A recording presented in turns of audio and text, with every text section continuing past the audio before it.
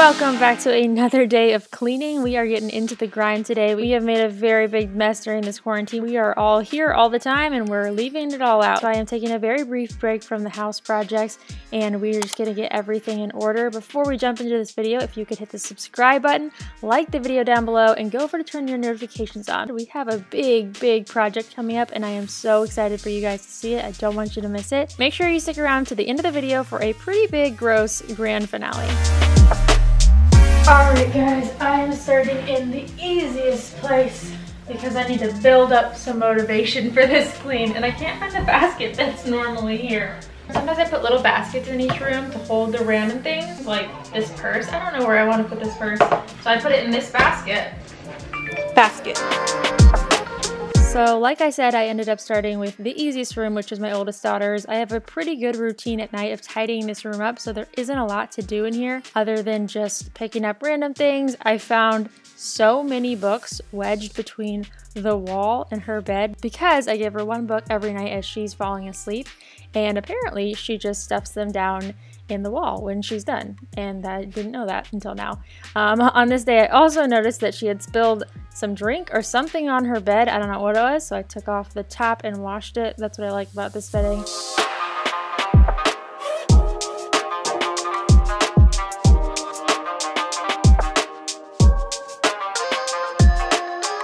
And I put all those books away. As you can see, our bookshelf is already getting really full and I'm needing some extra space for all the books that we have.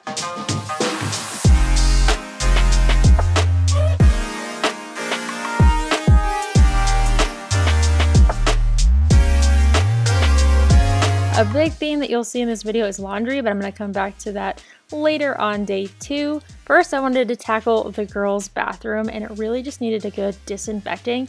I know you're wondering about the trash bag in the shower, and that is a bag of things I needed to take to Goodwill. But at the time I thought Goodwill was closed for donations, I found out later that you can still drop them off. So I was able to clean up the tub, get all their toys put away, and then I went back into the tub with some bleach some disinfecting. The tub wasn't really that dirty, but it's been a minute since I've actually just wiped it down.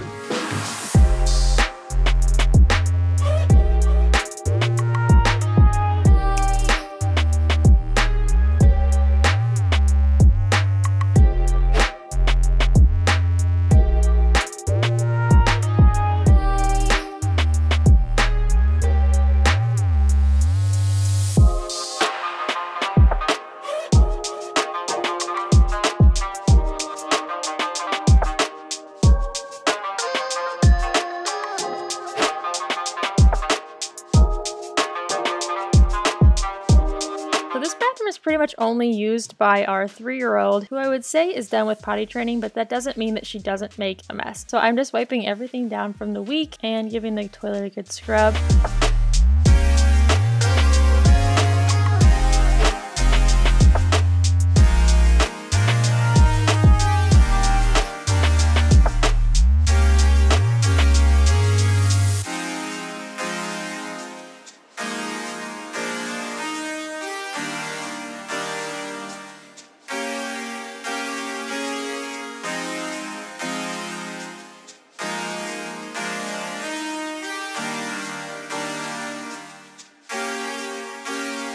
After the adult toilet was clean, I took to the mini toilet that Emmy uses. This was definitely helpful in potty training, but I am ready to get rid of this toilet because I constantly have to wipe it down or empty it out, and I'm ready to only be cleaning the one toilet again.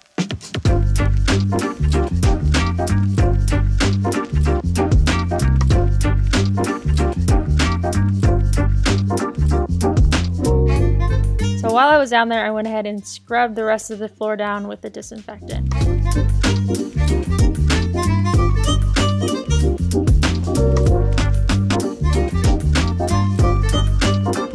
The place that gets the messiest and the most cluttered in our bathroom is always the sink area. Let me know if your kids are like this, but things just seem to pile up. Sippy cups, snack bowls, toothbrushes, anything that could land there and just stay out is always there, always getting cluttered up. So I took everything out and gave it a really good wipe down. The girls tend to make a mess when they're washing their hands or brushing their teeth. This is a good close up. I don't know what this ring is, but it happens probably every week in the bathroom. Kind of gross. Just thought you'd want to see that.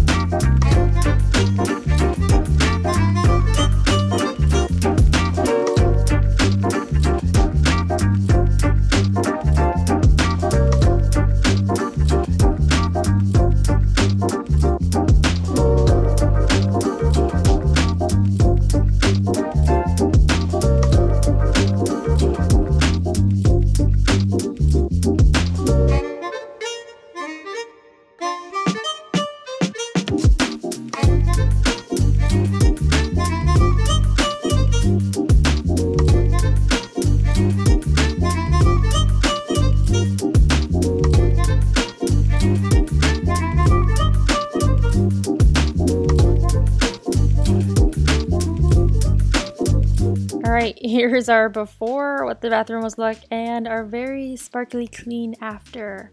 And let me tell you, it smells so good in that bathroom. The next room that I am cleaning up right now, mostly just tidying up, is Charlie's room. This is my youngest daughter's room. And again, it's mostly just toys that are out in here, but I did end up wiping down um, the dresser where we change her diapers.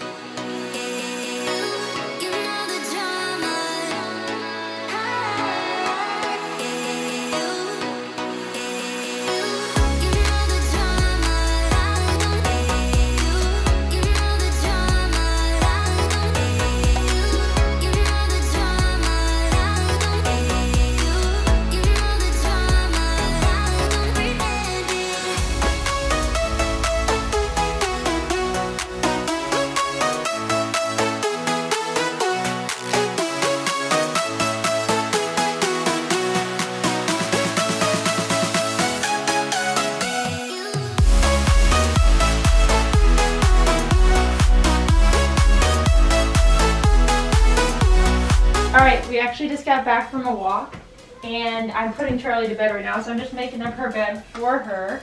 I wanted to show you the final after of this room before she got in bed.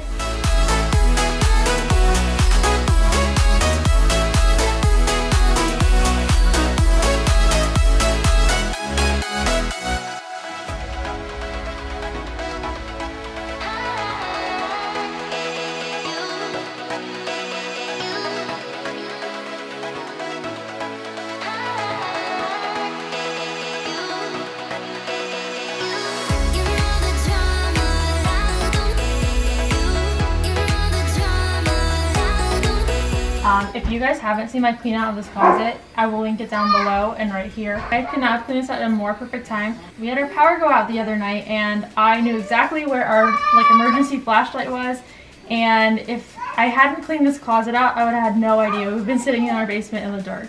My phone was about to die. This is why cleaning is important.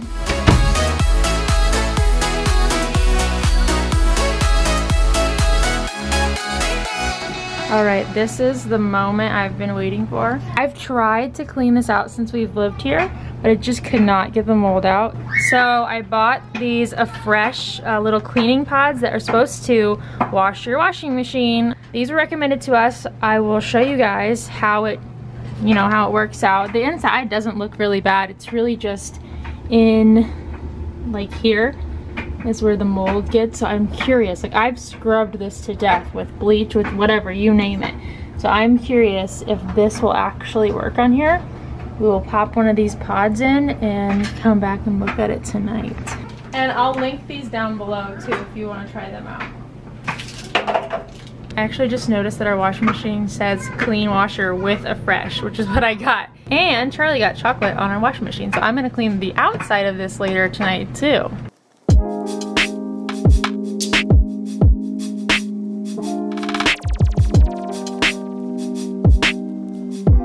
So while I am cleaning up our bedroom, I wanted to say a huge thank you for all the love and support on my last video, the master bedroom makeover and clean. If you missed it, I did a deep clean of our master bedroom. I organized it and I did a little bit of a makeover. So if you want to see an in-depth tour of the room and overall how it came together, I'll put a link to it down in the description. Normally in my cleaning videos, I would end with a vacuum, but since the girls are asleep up here, I'm probably not going to do that.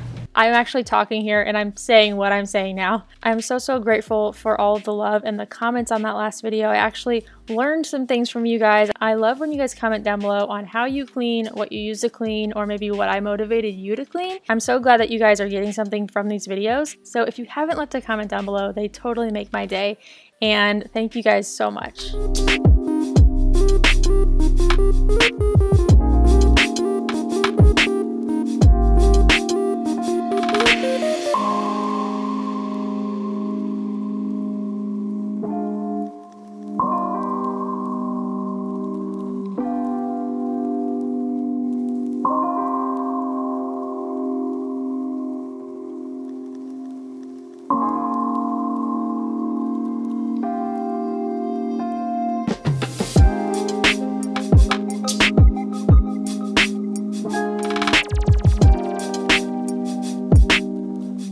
Right, next up is the downstairs level. I'm trying to power clean it before my husband gets home. He's picking up dinner for us tonight. Really, the kitchen is the biggest mess. I cleaned this room up yesterday, at least over the weekend, and I really cleaned this area. So if you wanna see how I set up this area, if you're more interested in family vlogs and things like that, I have a family channel and I'll link that down below.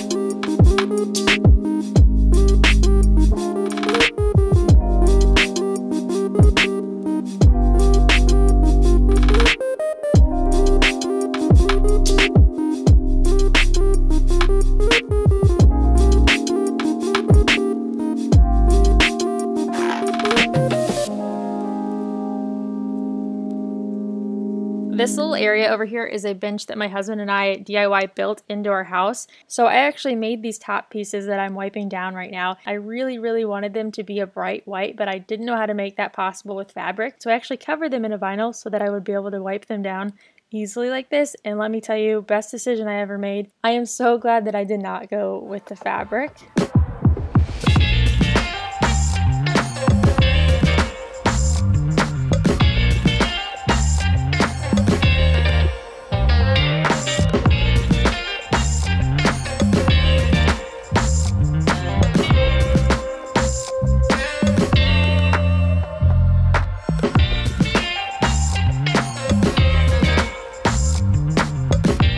Taking a break for food.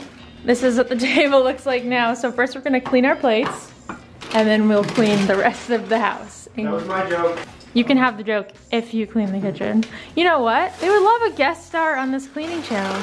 Really? A guest, a guest clean. We can clean my face. All right, so dinner was done. The real hard work comes in now. This kitchen, the part that I was dreading, I guess. I kind of left it there all day knowing I was going to make this video, but also kind of just avoiding it all day because you saw it. I did not want to go there yet. While I'm cleaning out my dishwasher, I want to say a big hello to all the new faces that came over after my last video. If you liked that video, I wanted to let you know we have something even cooler coming up.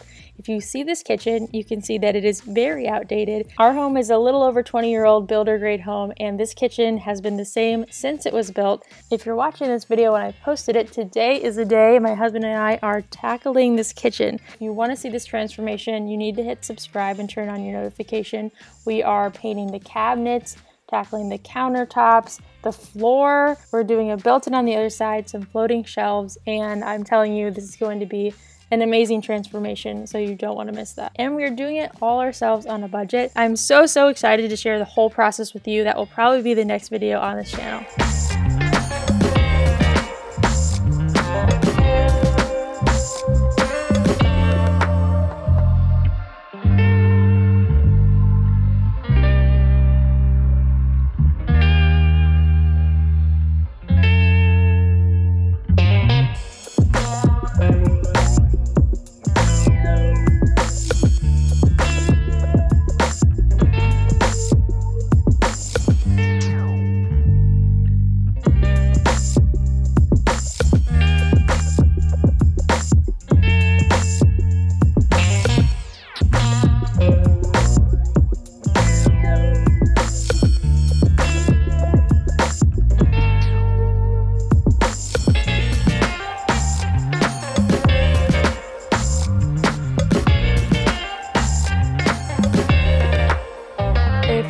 Wondering, I'm usually using Mrs. Meyer's products. There's a couple different times that I will use something else and I try to mention it.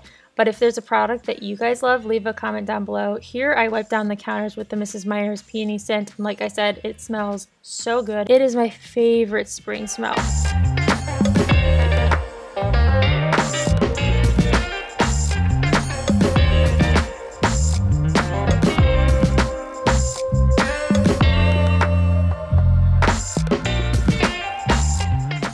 A gross close up of our stove top. My husband made chicken, and you know, when you make chicken and there's oil and it just gets everywhere, that's what happened here.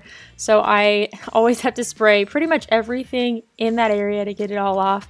Um, I like chicken, but it always kind of makes me dread it because of this factor. Even if we use the splash guard, this tends to happen. Everything was covered in oil, and I went in with the, I think it's called Weimans. I'm not sure the brand. Let me see. So I don't do this very often, but I did go in with our glass top cleaner and let that sit on the stove top just for a little bit. I can try and link that down below, but it's the only one I've ever used, and it's the only brand that I've ever seen anyone using for glass stove tops, so I would recommend it.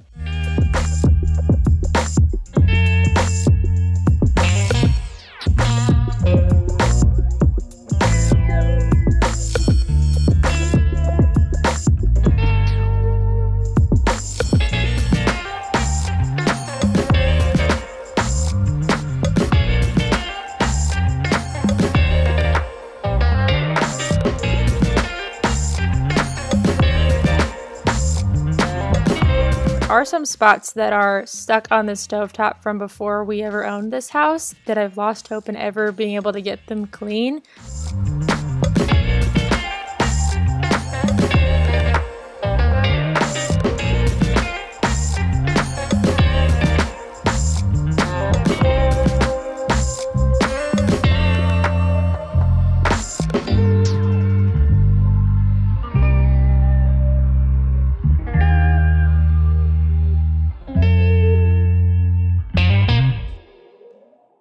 I want to know the spot in your house that is the most commonly cluttered. We used to have a kitchen island in our old house and that just collected everything, all of the mail, all the keys, any miscellaneous objects.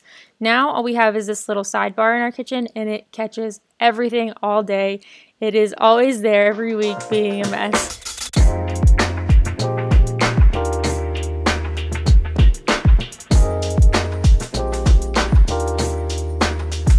Is such a nice feeling going to bed with a clean kitchen to wake up to a clean kitchen.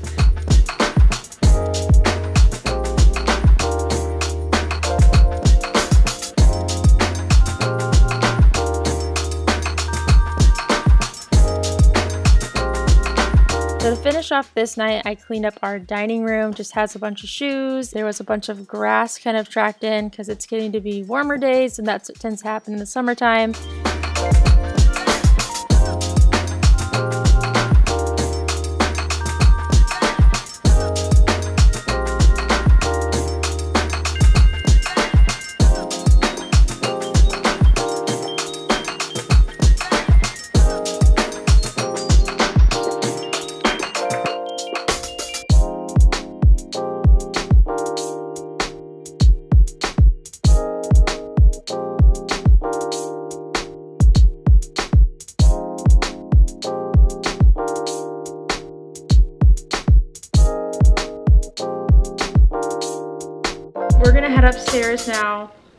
Never clean at night, so it's a really weird feeling. And it might be a good idea to start doing that because there was no one behind me pulling out what I just put away. We're gonna go upstairs now and check out the washing machine and see if it actually got clean or not. We're both pretty skeptical about the door and the lid, like the, the rim of the washing machine.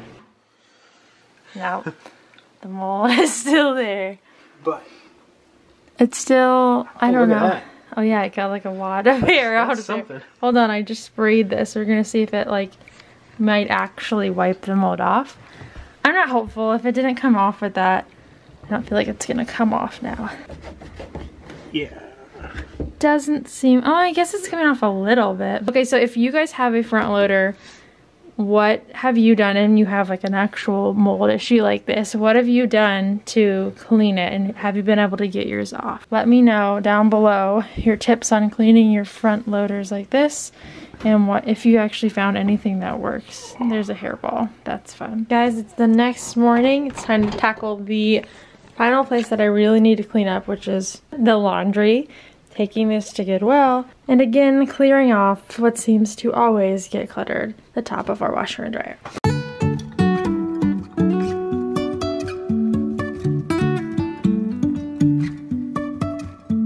Life is a winding road, no telling where it goes. Driving through days and nights won't stop for traffic lights. And I, I really wanna know, really wanna know. I don't know about you guys, but if I see a giant pile of laundry, I tend to do everything that I can to put off folding it and it ends up being a huge event like this day was. When I have a big pile like that, I start off by just sorting everything into each person's pile and then folding each individual pile. It seems to make the work go a little bit quicker. I don't know if it's the best method, but it's what I've been doing. And I noticed while I was editing this that I definitely got distracted from doing the laundry and started just doing any task that I saw near me and then going back to a pile of laundry. So if this doesn't make sense to you, it's because it doesn't make sense.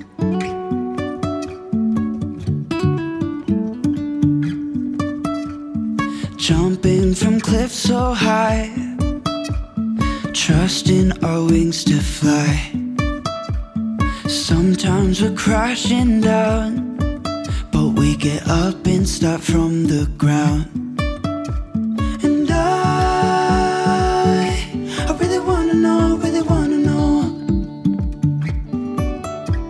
If I will ever figure out where the road goes And you can see that I was carrying my phone around with me and trying to watch something as I was folding to make it go a little bit faster. Comment down below your favorite show to watch while you're folding laundry if that's what you do.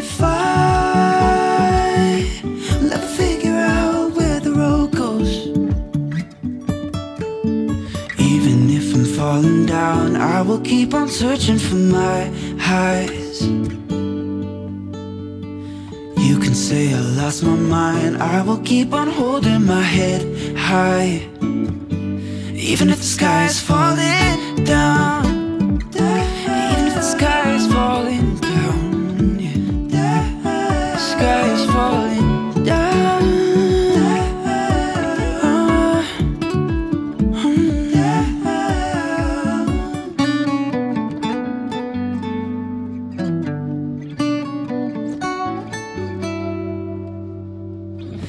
Even if the sky is falling down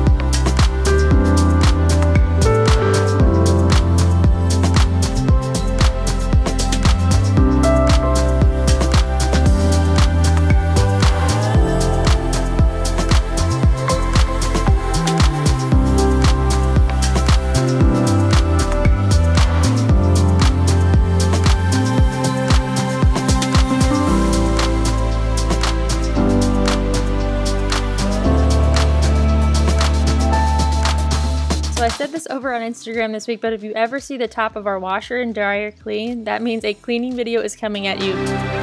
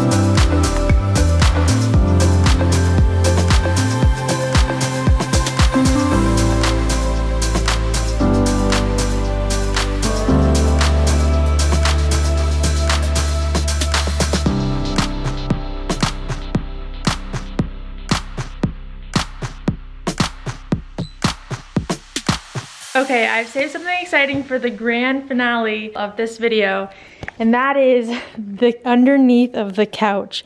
I've had to pick up some things from under there recently, and I know it's not pretty, so I'm gonna move the couch out. We've had our windows like sealed up with this plastic for the winter, so we can take all this down, clean this whole area.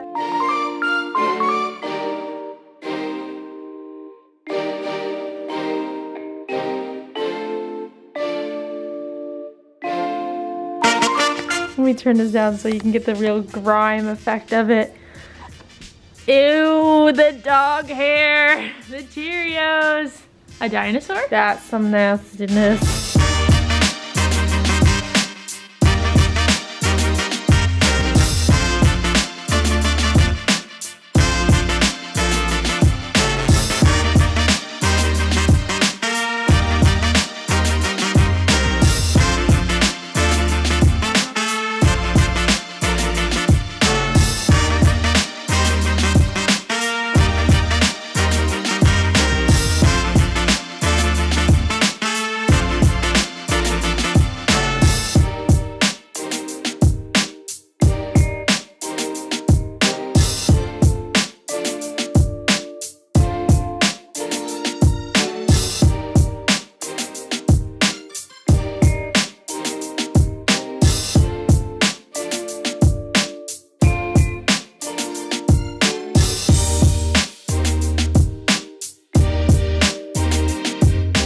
Haven't already, like this video, I exposed myself and showed you our dirty secret of under the couch, how gross it gets back there. And if you have any tips on the moldy washer, leave them down below. We'd love to read those and try to figure out how we can better clean that. Thank you guys so much for watching.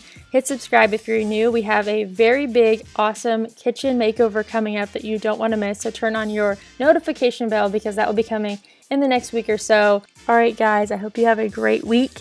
Happy cleaning.